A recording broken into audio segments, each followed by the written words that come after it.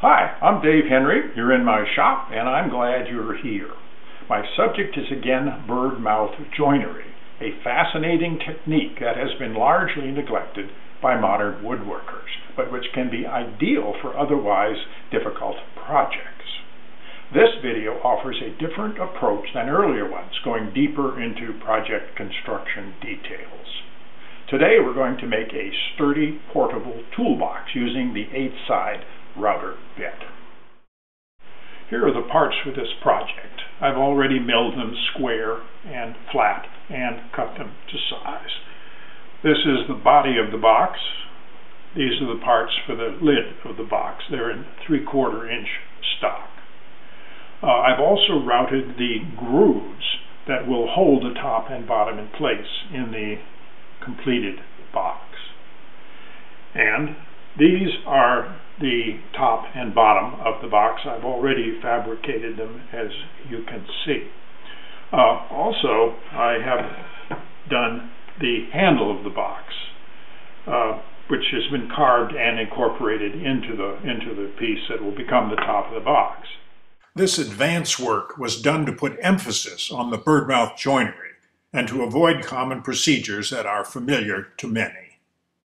Well, uh, here are the parts for the body of the box uh, laid out so you can get some idea of uh, what our target is will actually look like. Uh, when it's finished it will be 20 inches long, 8 inches wide, 8 inches high, including the lid. Here are the four corner pieces. Those are in lychee wood. The ends and sides are in canary wood. Here is that groove that I mentioned earlier, the half inch groove that the bottom will slot into when the, when the body is assembled. Here is that bottom piece. It uh, is in, uh, let's see, this is, yeah, Santos mahogany. This is a piece of bubinga. And that will, of course, have to be shaped once the body is assembled and this is the top and that will of course will fit into the lid and has to be shaped similarly to the bottom. This is a parts list for those of you who can't wait to get into the juicy details. My wood choices are arbitrary. In this case, largely a collection from my overflowing cut-off box. So what's left to do after all that preliminary work? Well, uh, quite a bit. First, we have to route the bird mouth joints. There will be eight of them in the body of the box and eight more in the lid. Then we dry assemble the body of the box and use that as a template to shape the bottom and the top. After that, we assemble the entire project and think about the glue up process. It's complicated and needs to be done in the right order. After that, we'll just glue it up, we'll sand it, we'll finish it, and then we'll know what the project really looks like. In cutting the birdmouth joints, we have choices to make. The cuts can be made either in the ends and side pieces or in the corner piece, or of course both. Notice that the joint will be between the end grain of the side pieces and edge grain of the corner piece. I have chosen to route the end and side pieces because a V groove into the end grain gives two surfaces and yields a superior glue joint with the edge grain of the corner staves. Thus the canary end and side staves will have a birdmouth cut at each end and the lychee corner piece will have no cuts at all. Okay, let's cut those birdmouth joints. I have set the height of the router bit point to a hair over 3 16 inch, just right for a 3 quarter inch stop. I'm going to cut the joint in three depth of cut steps. Let's start on one of the end pieces.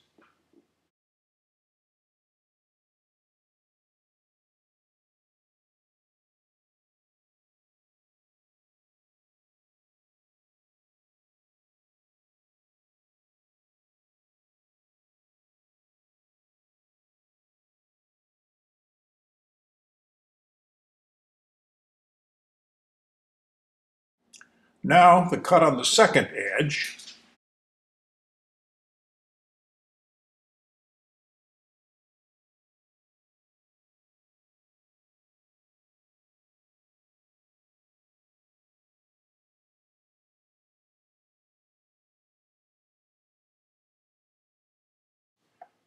And now the side pieces. As you can see, I use a large flat push block to help keep the workpieces square to the fence.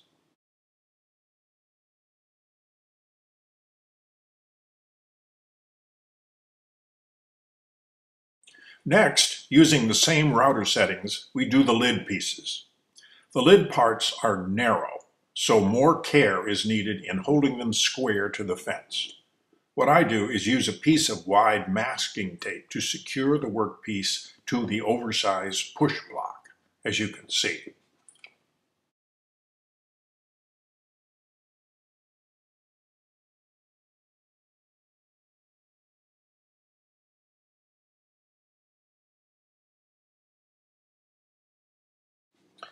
After all joints have had the first cut, the fence is adjusted for the second deeper cut, and all parts are again processed.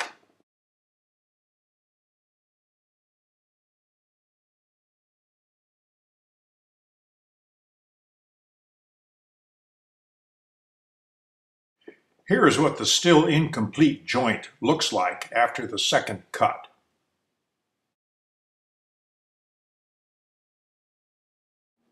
Last, after a second fence adjustment, the final cuts are made, shown here using a side piece.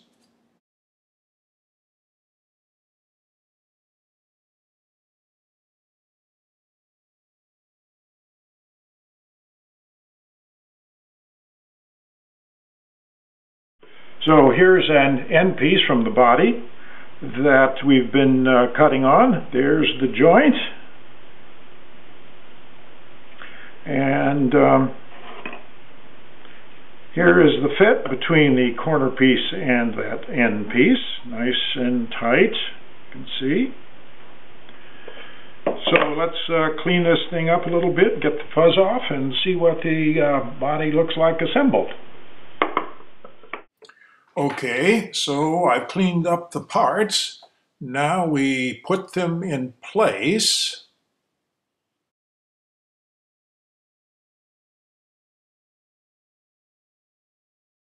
And throw on a band clamp, more on that in a moment, and there you got it.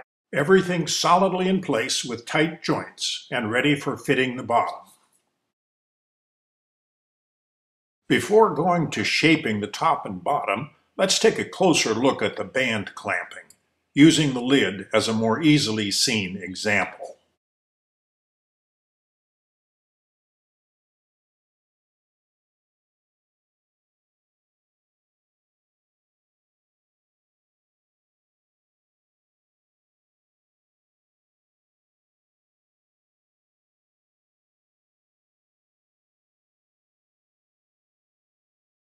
Okay, here's the dry assembled lid frame.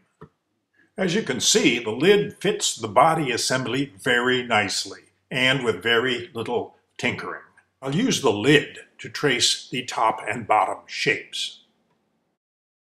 Before going on, here is a close-up of a couple of the lid joints and the slot for the top piece. I have marked the center line of the top and also the center points of the ends of the lid frame. When these are lined up, the handle is centered in the lid.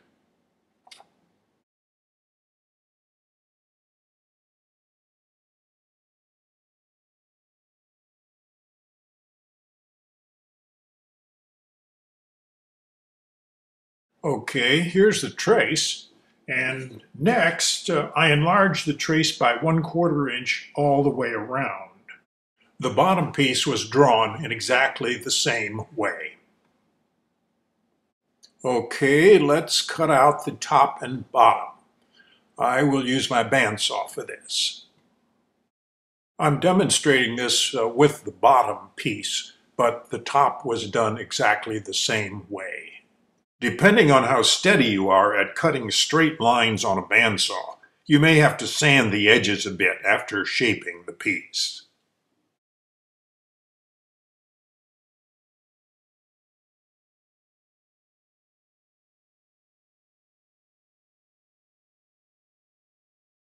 Okay, we've got the bottom shaped. Let's reassemble the body, including the bottom.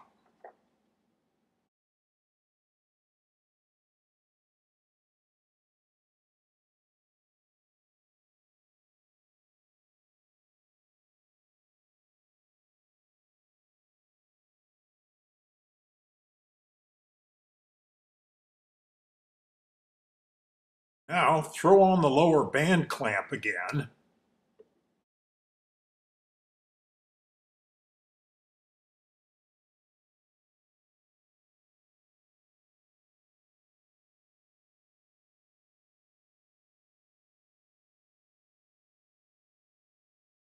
then the upper clamp. And here's what the dry assembled body looks like. Okay, let's do the same for the lid.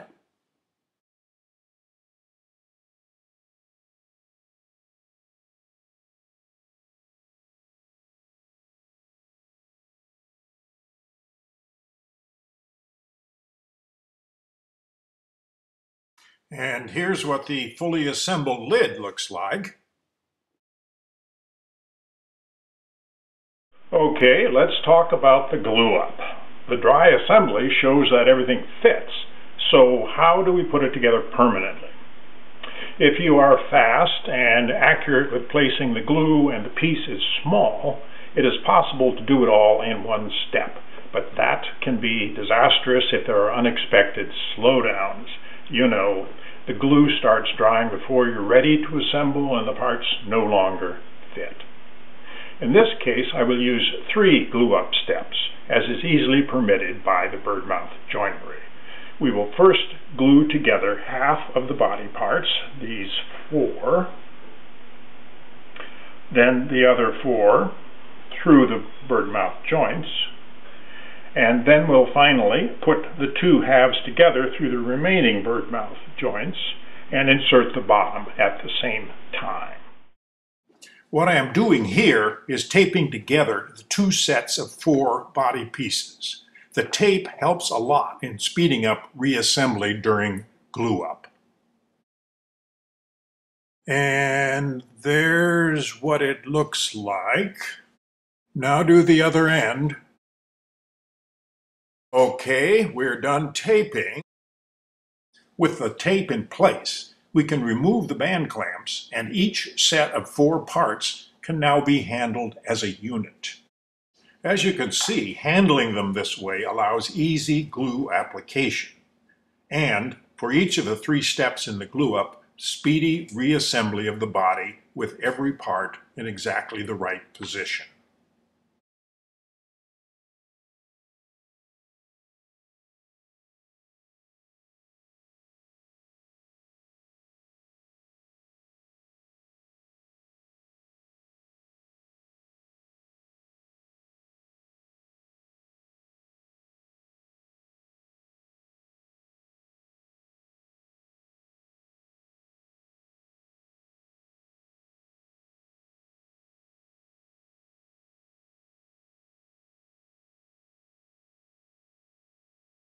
So, after gluing each of the three birdmouth joints in the first tape set, we temporarily assemble again to hold the joints in the right position while the glue sets. After an hour or so, we can remove the band clamps and see how the glue up went, and then repeat the procedure for the other four taped parts.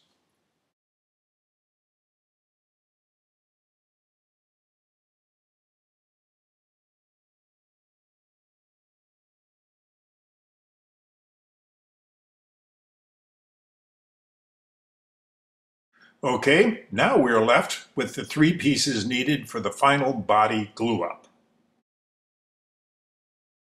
I put glue on the two body half subassemblies, including the groove for the bottom, but it is not necessary to put glue on the bottom itself.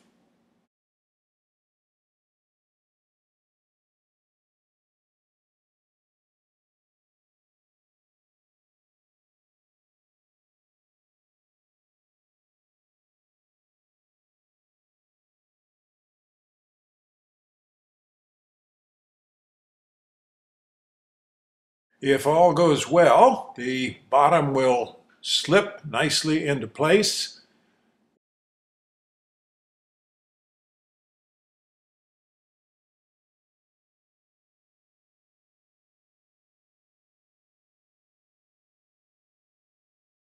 And we can put on those band clamps uh, for the last time, hopefully. And take them off. Leaving us with a glued up box body. The lid glue up is similar, except I've used only two steps because there is a lot less glue to apply. Masking tape is again very helpful, but it must be applied to the loose parts using a straight edge, as shown. Using the same technique as on the box body won't work because the band clamp on the smaller lid parts interferes.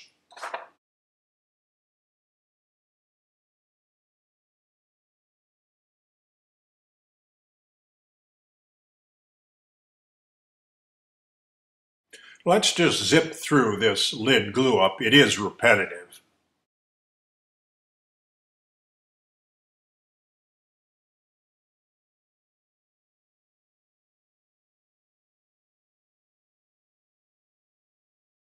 And there's the completed lid. Well, we ended almost as we began, uh, with a lot of off-camera work. After final glue-up, I installed the hinges and the lid lock on the toolbox, did the final sanding, and finished it with a wipe-on polyurethane over a shellac base. Here is the final product.